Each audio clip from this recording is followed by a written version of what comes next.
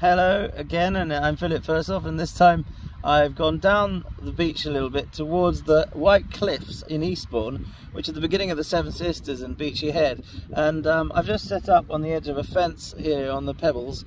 I'm going to try and wait for magic light to hit this cliff face, which is going to be white and uh, reflecting lots of golden colours and um, there's also a very nice depth here as the hill rolls over the horizon so I can see that there's a foreground which is going to be a little bit more specific and then as the cliff gets further away it'll get slightly more out of focus. So how to do that with paint? Well I'm just going to start off by pouring water onto my palette and um, tracing with a pointy brush the edge of the cliff with a little bit of green, so a bit of turquoise green here, and uh, starting off on the horizon, I'm just going to put the horizon line in, and a bit of muddy, mossy seaweed at the front, and then just tracing this cliff as it comes up and arches over with various shapes that are little bushes and things rolling over the edge of the cliff and then getting higher more defined towards the front so here I'm going to build up patches of green stippling in some shrubbery and things and then a bit more yellow as well so breaking that up with green and yellow marks. So this is how this area is going to be a bit more specifically drawn in uh, with a thinner brush. Going to just scribble around the edges of these bushes here. So that leaves me out with this beautiful area here of cliff which is white chalk and it's very very reflective and then on top of it a bit of heather and grass so yellow ochre uh, bit of yellow ochre there on the edge of the grass.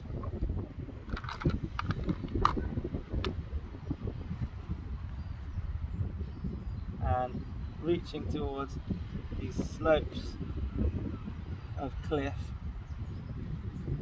And then a little bit of yellow ochre in the chalk as well. So some of this chalk is broken up by iron oxide which is um, forming these kind of rusty wavy bits of rock just rolling down there. Um, also I could get a little bit of darker colour something like a purple and as this falls, just stroke in a few lines going back and then on the undercuts of fallen rocks that have rolled down the edge of the cliff just pile up some edges.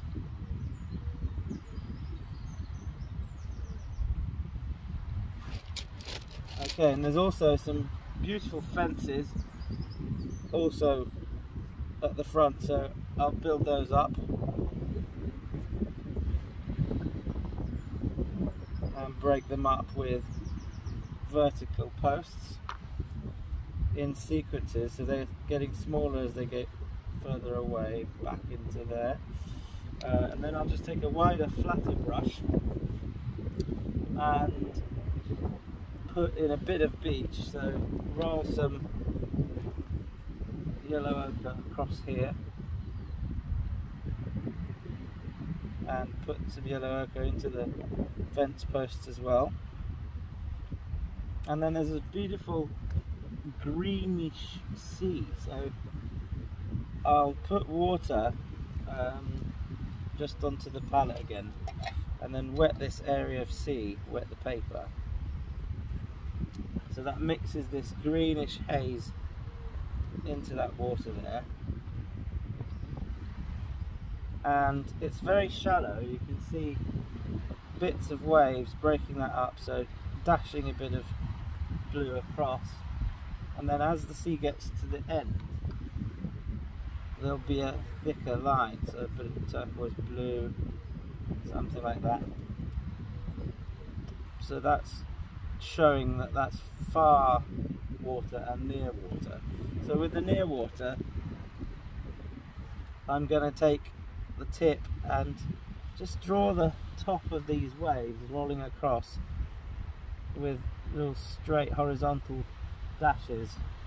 And there's even bits of purple in there reflecting the bottom of a cloud somewhere uh, looming over that. So there's all these beautiful clouds that I'll scribble in with purple over that. So that's going to be purple and dark blue shades. And with a different kind of brush, a flathead brush, I'm going to press the paint onto that surface leaving some of that cloudy edge a bit rough and then straighter heavier volume right across the page.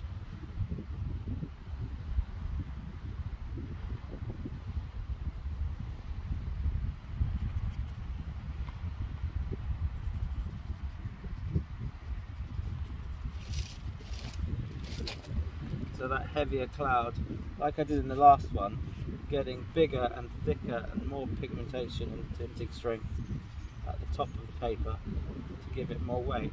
There might be reflexes though as well, so you can let that happen with bits of yellow showing through the clouds towards edges, especially between the edge of the cliff and the cloud here. So water and light and just a bit of yellow light breaking up that cloud just above the cliff. Now there's a kind of purple edge to the cliff as that rolls up with the heather. So that's going up across there and then with green I'm going to break that up with bushes and things in a kind of silhouette right towards the end. So that's coming forward. How to then draw in the cliff getting nearer, just a bit more detail and definition. So here at the front, I'm going to break up all of this with more lines and some lines stroking across the chalk of the cliff. So just describing that a bit more.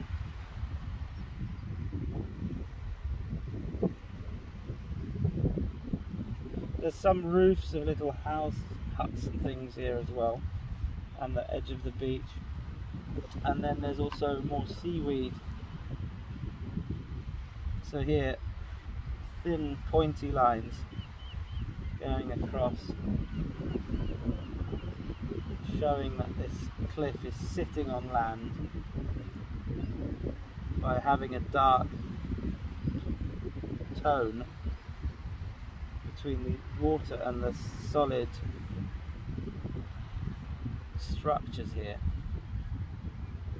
So I'm going to just take water again and then with a bit of yellow and transparent water fill up this cliff right up until about the front so that that can mix all of those colours together a bit and that works it a little bit further away in perspective. And then leaving the white of the paper just to describe the details of the rock at the front. And of course I'm waiting for some sun rays just to break up all of this with a beautiful bright colour. So maybe there'll be some moment when the light reflects very well off this cliff but uh, while I'm waiting for that I can try and work in the foreground so all these pebbles can be marked in just stippling in with a flat head and then taking a pointy brush and with purple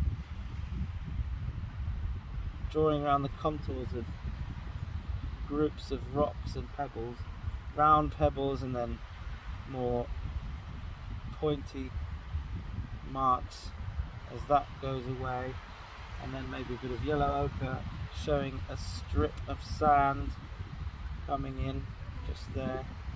And then even further closer even bigger rocks and pebbles.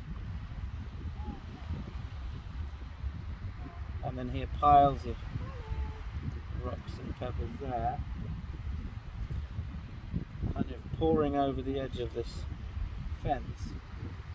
Maybe a little bit of wall but nothing is too specific here. It's all a little bit sketchy and a little bit suggested so that I can then decide when to put in detail in the right place. So here's some seaweed covered wood and taking some bright greens and dark greens and putting that life on the edge of the dead wood fence there.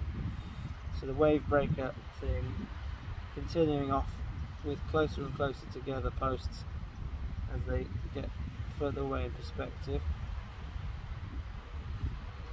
So then there might be some waves pulling in in the tide here. So as this bit gets nearer, you can see little groups of waves like that and a bit of foam. So again just as I was doing the last one stroking in some arched water and then pulling that across with thinner brush lines. And then to create the foam on the water and I take a little bit of oil pastel. So I've got Sennelier blue. So just put in few marks of that. And then a Sennelier yellow, Naples yellow. And just not be afraid to press in some little bits of pure pigment showing the edge of the wave turning into foam. And so as this light starts to reflect off the cliff I can also break up this white with these thick pigment lines and dashes and then even on the little stones that have fallen down there oil pastel that is going to break through that glaze of watercolour and give a nice solid reflection of golden sunlight right here on the front in between the white of the paper and these marks there's going to be this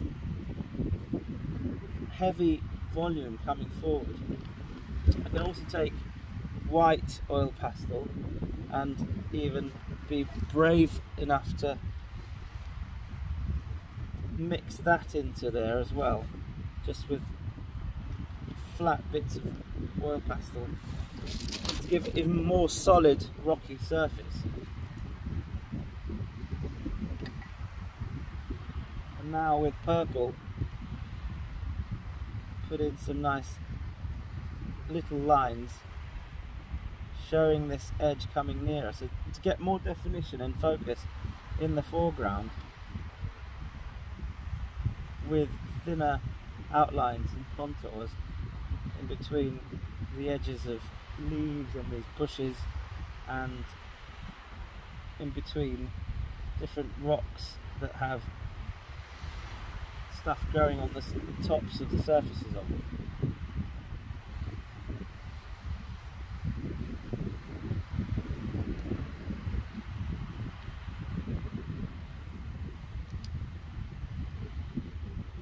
So little bits of pebble and things undercutting the seaweed as well, giving that rock a bit more solidness, uh, solidity, and then the grass going over the top of it, sort of sh showing this white cliffs of Albion in the fog. And then I'm just going to take a little bit of red and put in some diagonal roofs of huts and beach huts and tiled roofs. There's a little road as well coming up the side of this park, just leading up towards the top of the cliff. So there, a bit of grass around it and hedges, just suggesting some kind of pathway rising up and some fences along the front of the waterfront, some wall.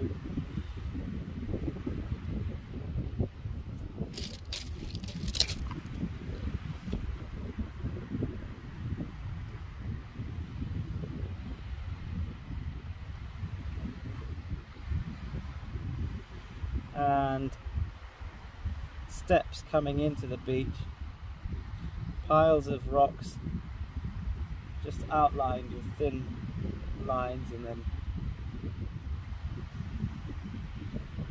taking blue and using this as a colder tone to show things are getting further away and stippling in blue rocks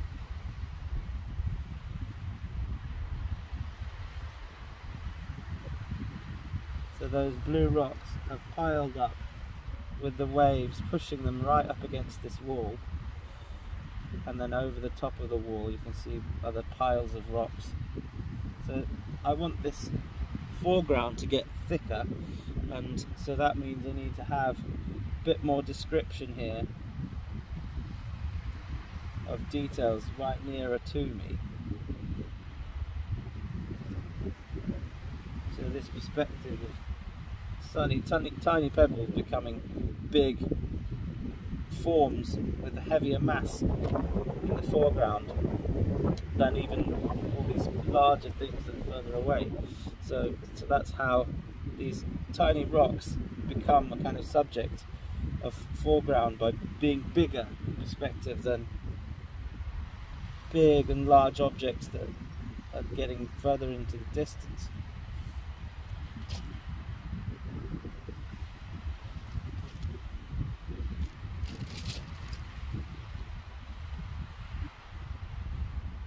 and then using this same brush with a mixture of blues and greens can outline more trees and hedges. And um, then I'm going to take another brush just clean one and get more water. And this time I want it to just break up some of this into a little bit less focused area so that by putting just water over this and shaking it over the lines that will give them a bit less of a focused look and so that will pull the edge of the cliff further into the depth of the perspective. And then there are clouds also just beneath here. So a bit of yellow and more water and then tiny patches of blue cloud. And uh, again just keep changing brushes to a new one to render this and take it away. So that glow is going to get further and so the clouds get lower and lower as they get towards the back and so that means lower lines right near the horizon and closer together lines as the clouds go really far back. Um, I can also take again the white and put more light shining off the surface of the water just by smudging a bit of oil pastel over that so that then sunlight is showing and reflecting off the surface of that and maybe with the Naples yellow as well just breaking up that edge with a highlight giving that seaweed and water a, kind of contre-jour. And then again in between clouds just little bits of light on the top of clouds here. So this thick oil is breaking up that watery, heavy form with dawning glow. And maybe some of that can also come onto this foreground and just finish off using this little piece of pastel by breaking up these rocks and that gives it using the texture of the paper as well that gives that foreground something a bit more solid because I want to have also a kind of discussion between the solid heavy forms and then the water and that means giving the solid forms something a bit more pigmented, a bit more tinted, a bit more nuance and grey and proper shadows and things like that. Speckled in and then also a harder edge of fence against the water so that that paper with its bleeding tone there in the water can be different to that solid painted in fence. Just breaking up the edge between this earth and the water and then the sky being these light forms.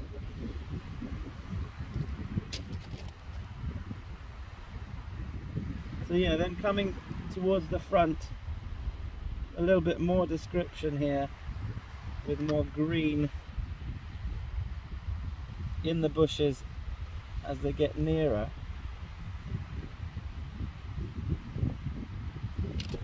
And there we have, in 20 minutes, an impression of the cliffs in Eastbourne. Thank you very much for watching.